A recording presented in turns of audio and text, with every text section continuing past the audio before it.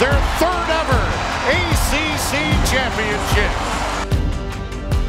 Virginia has dominated Louisville since Louisville entered into the ACC, and it was no different this afternoon.